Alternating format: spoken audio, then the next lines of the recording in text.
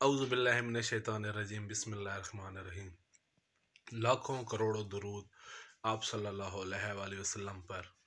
Viewers, मैं हूँ शुएब न्याजी और आप देख रहे हैं Shoaib Niazi informational channel. Viewers, आज हम जो वीडियो बनाने जा रहे हैं, वो कनेक्टिव टिशू के बारे में है और ये टिशू के टॉपिक का पार्ट टू है। तो आपसे गुजारिश है कि चैनल को सब्सक्राइब करें और वीडियो एंड तक देखें। चलते हैं वीडियो की तरफ़। वालेकुम, आप देख रहे हैं Shoaib Niazi information channel viewers ये टिश्यूज़ की वीडियो का पार्ट टू जो है, इसके अंदर जो है, हम लोग कनेक्टिव टिश्यूज़ को डिस्कस करेंगे। पहले मैं सोच रहा था कि हम एक ही वीडियो के अंदर जो है, वो दो दो दो पार्ट करके डिस्कस करते हैं। लेकिन व्यूवर थोड़ी सी जो है वीडियो लंबाई में चली जाती है टाइम इसका लंबा हो जाता है।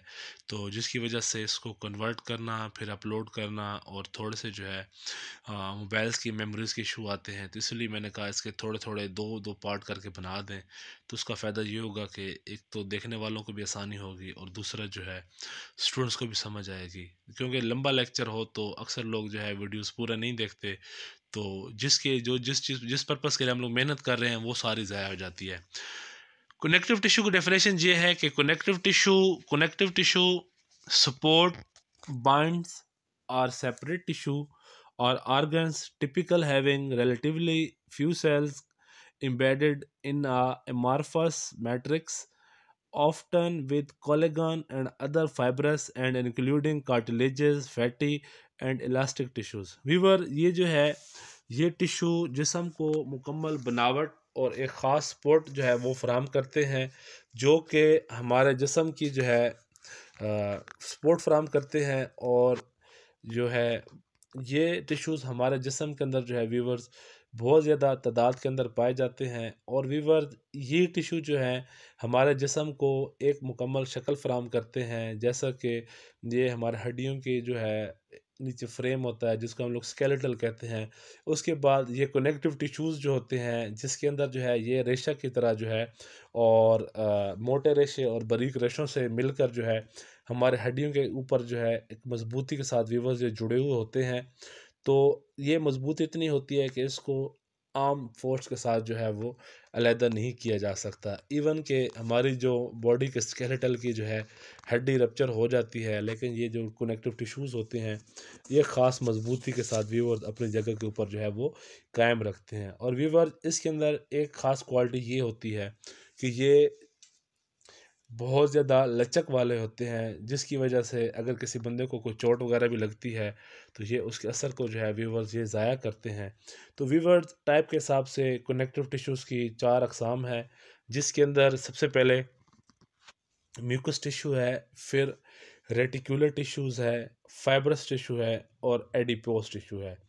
वीवर जो कि म्यूकस टिशू है, ये जिसम के मुख्तलिफ़ मुकाम पर मौजूद होते हैं। ये हमारे जिसम के मुख्तलिफ़ पार्ट्स के ऊपर व्यूवर्स ये पाए जाते हैं, जो कि म्यूकस मेम्ब्रेन के अंदर और म्यूकस ग्लैंड के अंदर जो है व्यूवर्स ये अपना किरदार अदा करते हैं।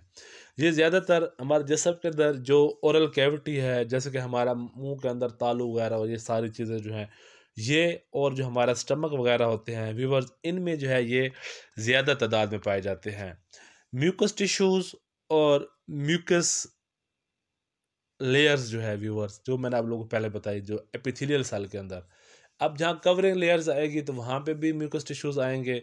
और अगर कनेक्टिव टिश्यूज़ की बात आएगी तो वहाँ पे जो है म्यूकस टिश्यूज़ जो है वो पाए जाते हैं। इनका जो फिजियोलॉजी की बात करें तो ये ज़्यादातर टम्परेचर्स को जो है वो रजिस्ट करते हैं।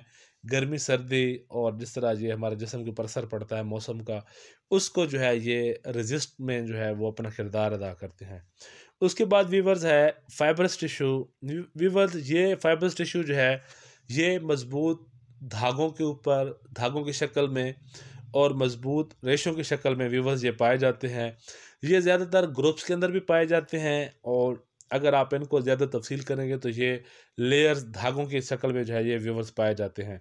तो व्यूवर्स, इनका जो मेन काम होता है, ये बंद बांधने और जो है, के अंदर जो है, ये और तार बनाने की शक्ल में जो है, व्यूवर्स, ये अपना किरदार अदा करते हैं। ये ज़्यादातर जो हमारे हड्डियों के साथ लेगेमेंट्स होते हैं, जो कि हड्डियों के जो इब्तदाई चिपकने वाले टिश्यूज़ होते हैं उनके अंदर इनका किरदार होता है और वीवर ये सीना और पेट के जो वीवर्स खला होते हैं, जिस तरह हमारा अगर डायफ्राम की बात करें मतलब जो कि फेफड़ों वाला एरिया है, उसके अंदर झिल्ली आ जाती है, उसको हम लोग डायफ्राम कहते हैं, जिसको पसलियों का पिंजरा भी कहा जाता है।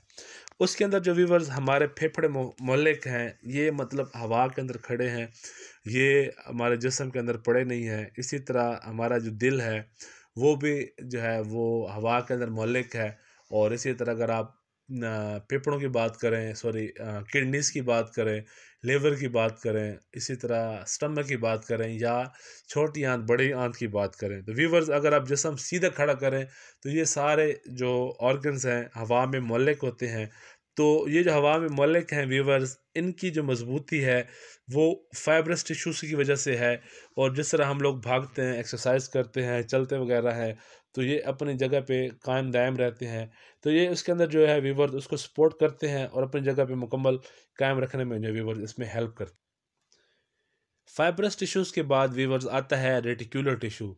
वीवर ये जो है, इसको हम लोग लिम्फाइड टिश्यूज़ भी कहते हैं, जिस तरह हमारा जिसम एक प्रॉपर सिस्टम है, जिसको हम लोग लिम्फेटिक सिस्टम भी कहते हैं। वीवर्स ये एक्चुअली जो सिस्टम्स होते हैं, इनको हम लोग बेनाली गदूद भी कहते हैं।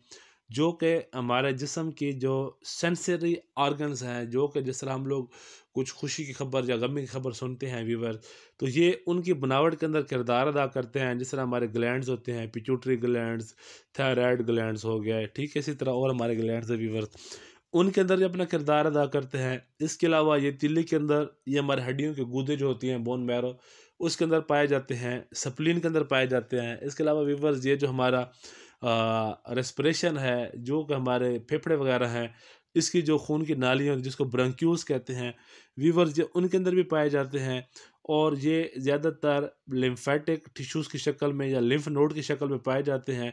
इनको हम लोग रेटिकुलर टिश्यूज़ कहते हैं। इसके अलावा वीवर्स हमारे जिसम के अंदर अक्सर गिल्टीज़ बन जाती हैं तो हम उनको भी जो है वो कहते हैं कि जी, ये लिम्फ नोड इकट्ठे हो गए तो इनका नाम भी इसको हम कहते हैं लिम्फोमा बाज़ गिल्टीज़ जो बढ़ रही होती हैं और थोड़ा बहुत पेन करती हैं तो वो थोड़ी डेंजरस होती हैं।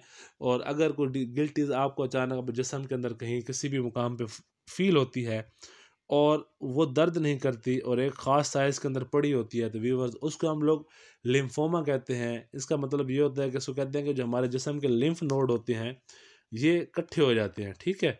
तो गिल्टी से बाँध जाती है। उसके बाद वीवर्स आता है एडिपोज टिश्यू वीवर्स ये टिश्यूज़ हमारे फैट्स पर मुश्तमिल होते हैं जो कि अज़ा को चोट गर्मी सर्दी के असरात को महफूज रखते हैं।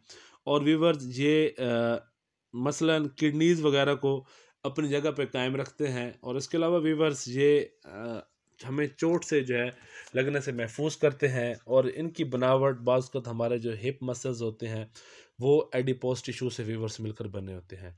उसके बाद वीवर कनेक्टिव टिश्यूज़ की स्पेशलाइज कनेक्टिव टिश्यूज़ जो है भी कहा जाता है, जिसके अंदर हमारे तीन जो है वीवर्स मेन टिश्यू शामिल होते हैं। एक वीवर्स हमारा ब्लड है, दूसरा हमारी बोन्स हैं, तीसरा कार्डिलेजेस है और वीवर्स चौथा हम लोग उसको कहते हैं ह्यूमोपैटिक टिश्यूज़ कहा जाता है। वीवर जो ब्लड है, आपको पता है ब्लड भी एक ख़ास किस्म का कनेक्टिव टिश्यू है और ये भी एक हमारा ऑर्गन्स ही है, जो कि माया फॉर्म के अंदर, हमारे बॉडी के अंदर पाया जाता है, जो कि वीवर मुख्तलिफ़ अज़ा पर मुश्तमिल होता है, जिसको हम लोग प्लाज्मा और इसके सेल्स होते हैं। सेल्स के अंदर हम बात करेंगे तो वो white blood cell red blood cell और प्लेटलेट्स हैं। इसी तरह इसमें डिफरेंट डिफरेंशिएट लिकोसाइड्स होते हैं। जो कि लिम्फोसाइड मोनोसाइड यूसिनोफिल बेजोसिफिल वगैरह के ऊपर पाए जाते हैं। वीवर्स इन सेल्स की जो है, एक ख़ास तरतीब होती है, एक ख़ास क्वांटिटी के अंदर ये वीवर्स मौजूद होते हैं। प्लाज्मा जो है, ये फिफ्टी फाइव परसेंट होता है और जो कि सेल्स फोर्टी फाइव परसेंट होते हैं। वीवर इसका काम जो है, हमारे जिसम के अंदर जो है, वो वीवर खुराक की तरसील है। उसके अलावा जो हम ऑक्सीजन इनहेल करते हैं और पूरे हमारे जिसम के हर सेल तक पहुँचाने का काम होता है और वहाँ से कार्बन डाइऑक्साइड वापस ला के रेस्पिरेटरी सिस्टम के थ्रू वीवर्स हमारे जिसम से खारिज करने के अंदर जो है, इसका किरदार होता है। वीवर्स ये हमारे जिसम का बहुत अहम टिशू है। इसके अलावा अगर हमने लैब वगैरह टेस्ट वगैरह कराने भी होते हैं तो तब भी हमारे जिसम से जो है वीवर्स वो ब्लड का सैंपल लिया जाता है। उसके बाद वीवर्स बोन्स हैं। बोन्स जो है वीवर्स ये हमारे टिशूज़ जिसम का सख्त टिशूज़ है, जो कि मुख्तलिफ़ अज़ा से बना होता है। इसके अंदर पचास फ़ीसद पानी होता है, कुछ कैल्शियम्स होते हैं, नामियात होती है, फास्फोरस होती है, प्रोटीन्स वगैरह होती हैं, वीवर उनसे बनता है और इसकी हमारे बॉडी के अंदर जो है वीवर ये हमारे जिसम को एक ख़ास शक्ल फ्राहम करता है और जिस तरह हम लोग हमारा स्केलेटल होता है, वीवर तो इसके ऊपर डिपेंड करता है। उसके बाद इसी की एक किस्म होती है, जिसको कार्टिलेजेस कहते हैं। ये वीवर्स कुरी हड्डी होती है इसमें हमारे जो सीने की हड्डी होती है, जिसको थोरेसिक्स बोन्स कहते हैं, उसको वीवर्स जो है वो कार्टिलेजेस कहते हैं। इसी तरह जो हमारी पसलियाँ हैं वीवर्स इसमें पसलियों में भी जो है पचास फ़ीसद जो है वीवर्स हमारे जो है वो कार्टिलेजेस होती हैं। और जब हम गिरते हैं तो ये इसकी जो है वो लचक की वजह से हमें डायरेक्ट जो है वो चोट नहीं लगती और हमारी हड्डी टूटने से बचती है। इसके अलावा वीवर्स जहाँ जहाँ हमारे जोड़ पाए जाते हैं, जहाँ जहाँ हड्डियों के जॉइंट्स होते हैं वीवर्स वहाँ पे जो है इसका ख़ास किरदार होता है। तो कार्टिलेजेस भी वीवर्स इसको हम लोग कुरी कहते हैं। ये मतलब ना हड्डी के अंदर आती है और ना मतलब टिश्यूज़ के अंदर आती हैं। एक ख़ास लचक के अंदर वो वीवर्स ये मौजूद होती है। तो इन उम्मीद करते हैं व्यूवर्स आपको वीडियो पसंद आई होगी और आपसे गुजारिश है कि वीडियोस को शेयर भी करें और हमारी हौसला अफजाई करें। शुक्रिया।